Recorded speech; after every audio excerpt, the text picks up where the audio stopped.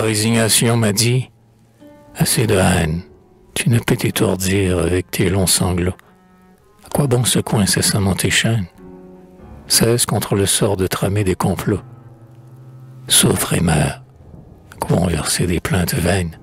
Des cœurs toujours pleins et des seins toujours clos Abaisse ton orgueil et par toutes tes veines, regarde ton sang noir qui s'échappe à long flot.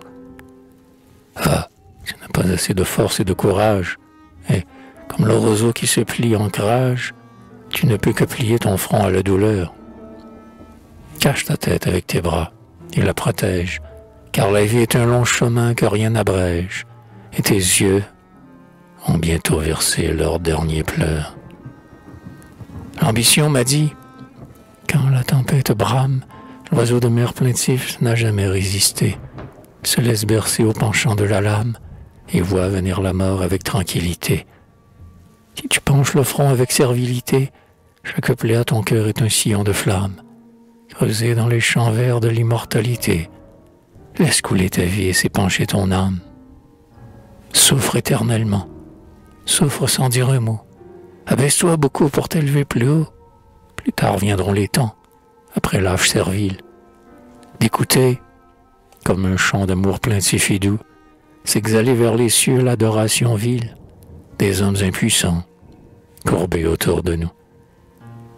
L'orgueil m'a dit, la vie est un fleuve rapide, les bois, les prés fleuris, les roseaux riverains se reflètent parfois dans son onde limpide, mais les hommes y noient leurs maux et leurs chagrins nous laisserons tomber sur leur force stupide un long regard chargé de mépris souverain. Viens donc la voir de près, cette foule intrépide. Leur front n'arrive pas à hauteur de nos reins.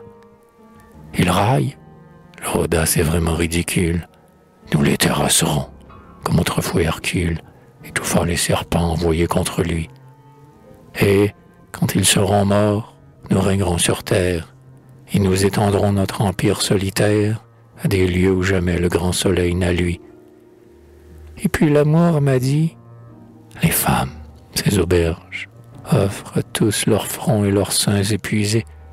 Pauvre voyageur las, s'il faut que tu t'héberges, tu trouveras au ciel des amours reposés.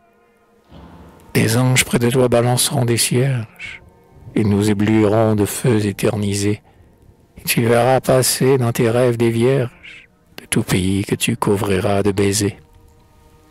Elles viendront vers toi comme des rêves pâles, leurs chants doux et joyeux apaiseront tes râles, dans le grand lit suprême où l'on est à l'étroit. Tu les endormiras en baisant leurs paupières, ou bien tu les verras sous les voûtes de pierre, s'éveiller sur ton cœur en grelottant de froid. Puis la volupté m'a fait voir dans un rêve leurs corps jeunes et beaux enlacés mollement, et, comme des éclairs quand l'orage s'élève, leurs cheveux qui brillaient dans le bleu firmament. En me disant, tu vois, l'amour sans fin ni trêve palpite dans leur cœur voluptueusement. Leurs yeux brillent ainsi qu'un flamboiement de glaive. Ces femmes n'ont pour voix qu'un doux gazouillement. Eh bien, tous les parfums exhalés de leur couche, tous les baisers d'amour qui flottent sur leur bouche, tous leurs chants attiédis, si joyeux et si beaux, les ondulations de leurs poses lascives, les sommeils dans leurs chevelures pensives, tout cela n'appartient qu'à l'ombre des tombeaux. Voilà pourquoi j'attends avec impatience l'heure où se fermeront mes yeux dans le tombeau. Je la verrai venir, le cœur plein d'espérance. Le dernier demi-jour en sera le plus beau.